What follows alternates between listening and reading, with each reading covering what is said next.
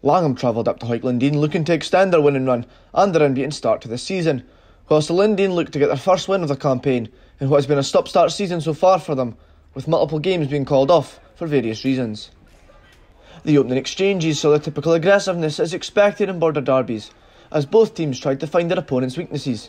Defences did manage to hold strong for 20 minutes, before Langholm managed to get the first try of the match through Adam Rowe, when he found the ball loose, just a few metres away from the try line after a chipped kick wasn't dealt with by Linden players.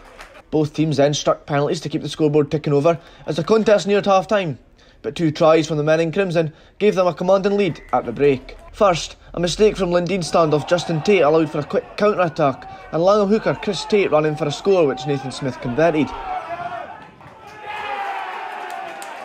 And then on the stroke of half time, Ben Jardine touched down after a quick turnover and a great showing of moving the ball along the line for the visitors giving Langholm a 22-3 lead at the break and putting them in control of the match.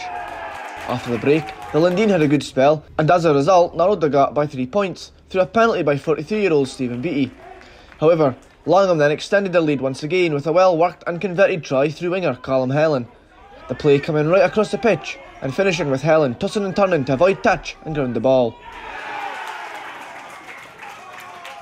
That would be the final try of the match, as the remaining half hour was scoreless, with the Hawick side unable to get a try of their own despite their best efforts in the last few minutes. So a bonus point win for Langholm, who travel back through to the Muckletoon and the much happier of the two sides as they extend their unbeaten run in the league, whilst Hawick Linden will regroup and improve as they continue to hunt for their first competitive win this season.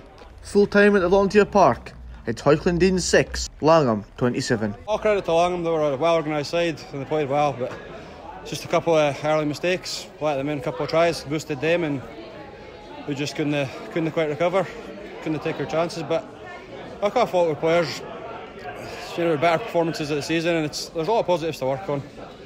But it just wasn't our day in the end. Yeah, we knew coming up it was going to be a, a tough and dogged uh, game. We heard that they had some high force players coming into play, so that that improved their squad loads. So we were we knew it was going to be tough, and it was for the full 80. But I'm proud of them. We managed to grit it out for the for the whole game, and uh, it was like an 80 minute performance, not just a first half or a second half. It was a full game.